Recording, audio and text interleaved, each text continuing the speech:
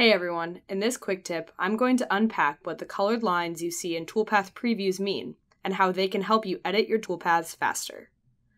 I have a part here with some existing toolpaths, and I'll start by checking out the face operation. When I select the operation in the browser, a preview shows up in the canvas. While this may look like just some nice lines, it can tell me a lot about the toolpath. First, there are arrows indicating where the tool will enter and exit the cut. The red down arrow shows where the tool will drop down, and the green arrow shows where the tool will retract to the clearance plane before moving on to the next operation. Next, the yellow lines indicate retract moves as the tool moves vertically between the retract plane and the cutting moves. The lead in and lead out moves used to transition into the cut are shown as green lines. Finally, there are the blue lines which indicate cutting moves, where the tool is actively engaging material.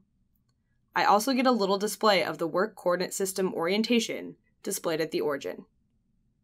This preview looks decent, but let's say I want a larger vertical lead-in radius. The part of the toolpath with the radius I want to change is green, so I can safely guess that the parameter I want to edit is in the linking tab of the operation. Under leads and transitions, I'll change the vertical lead-in radius parameter to half an inch. I'll hit OK, the toolpath preview updates, and I can see that I updated the correct parameter. Facing is pretty basic, so let's look at the inner pocket roughing operation.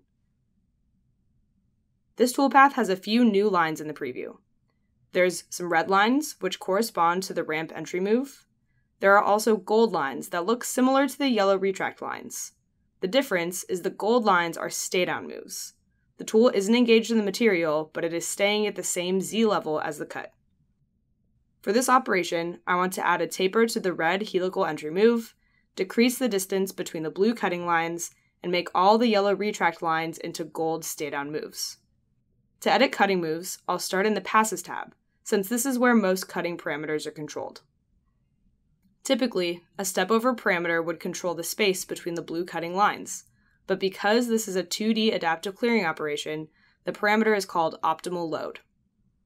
I'll decrease the optimal load from 150 thousandths to 100 thousandths to make the distance between each pass smaller.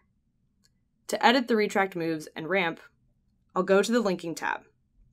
To convert the yellow retract moves into staydown moves, I'll increase the maximum staydown distance to 4 inches. Lastly, to add taper to the helix, I'll go down to ramp and enter a ramp taper angle of 5 degrees. I'll hit OK and see that the toolpath correctly updated with my changes. Now you can use the toolpath preview to check and edit your toolpaths faster.